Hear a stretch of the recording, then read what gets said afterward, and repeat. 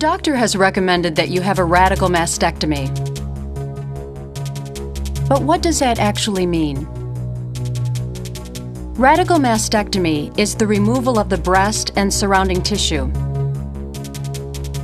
In most cases, mastectomy is required in order to remove cancerous tissue from the body. The extent of tissue removed is determined by the amount of cancer present in your body. A radical mastectomy is the most extensive form of breast cancer surgery. It calls for the complete removal not only of the breast, but also of the lymph nodes, as well as part or possibly all of the chest muscle that lies underneath the breast. Lymph nodes are small junctions that join the vessels that make up the lymphatic system. The lymphatic system circulates a bodily fluid called lymph, in the same way that the circulatory system carries blood. Your doctor has recommended that you undergo a radical mastectomy because the cancer in your breast may have begun to move into the lymph nodes under your arm, as well as into your chest muscle.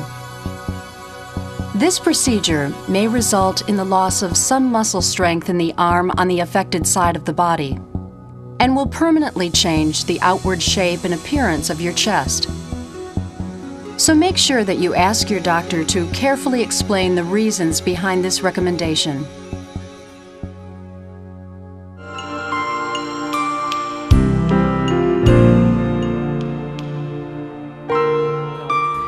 In the case of mastectomy as a treatment for cancer, the only real alternatives to surgery are radiation therapy and chemotherapy.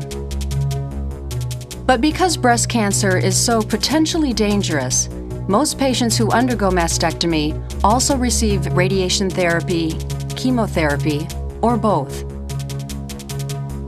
In any case, your doctor has recommended this procedure because he or she believes that surgery is in your best interest and may even be vital to your survival. Choosing not to have this surgery could put your health and life at grave risk. You must make sure to talk to your doctor about all of your concerns before making a decision.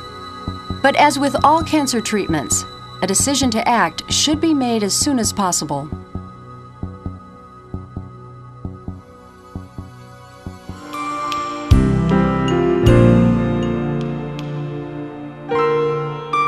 On the day of your operation, you will be asked to put on a surgical gown.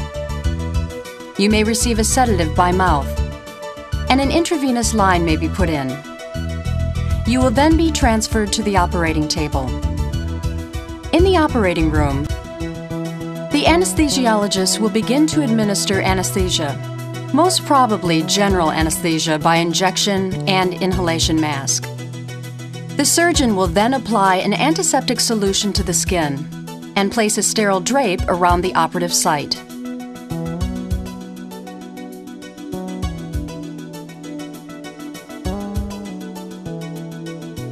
Two incisions will be made, beginning at the middle of the chest, one along the top, and one along the bottom of the breast, coming together just under the arm. The skin is then lifted up and away, revealing the tissue underneath. Beginning at the clavicle, or collarbone, the surgeon then begins to carefully cut the breast tissue away from the muscles that lie just beneath. When the breast has been completely freed, it is lifted away, exposing the top layer of muscle called the pectoralis major.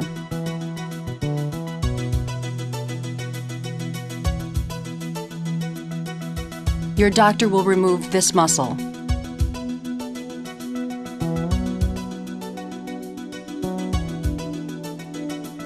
Below the pectoralis major lies another chest muscle called the pectoralis minor. This muscle will also be removed, fully exposing the fatty tissues that lie beneath it. Within this fat deposit lies lymph nodes, lymph vessels, blood vessels, and nerves. Using great care not to damage the large thoracic nerve, your doctor will remove the lymph nodes and surrounding fat. Blood vessels will be tied off, and your doctor will thoroughly examine the surrounding tissues for any other signs of disease.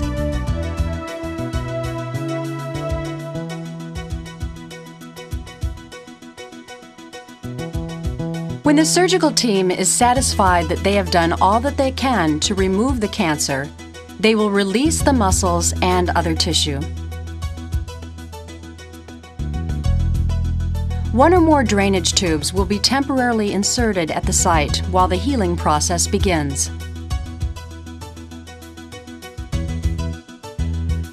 They will then close the incision.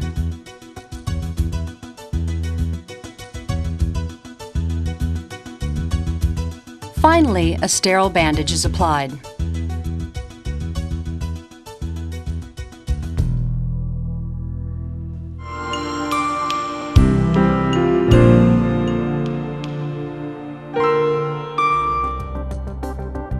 Most patients experience at least some pain following surgery, but if properly handled, it shouldn't present any serious problems. Pain used to be regarded as an unavoidable side effect of surgery, but today, pain can be managed with great effectiveness. And as the patient, you have an important role to play. Before surgery, be sure to ask the medical staff about the type and duration of pain normally associated with your surgery. Find out in advance about your pain management options. Work with the staff to develop a pain management plan Discuss your options. There are alternatives to drugs that can lessen your need for pain medication. Ask your doctor for help in finding a pain management class. Many of these workshops teach helpful relaxation techniques, positive thinking, and nerve stimulation exercises. Following surgery, make sure to let your nurse know right away how you're feeling and whether or not you are in any pain. Be specific and help them to measure your discomfort. If you're having trouble expressing yourself, try to rank what you're feeling on a scale from 1 to 10. Never be shy about asking for help. If you experience pain that just won't go away, report it to the nurse Pain is an important indicator that helps you and your medical staff understand your body's healing process.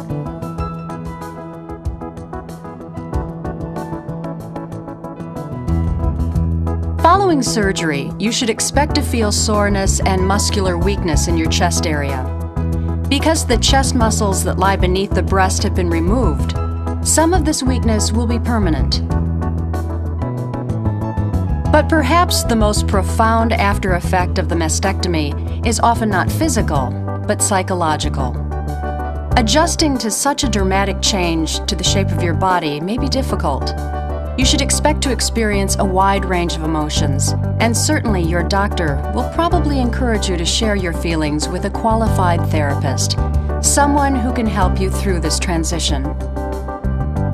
The surgery itself only rarely leads to complications.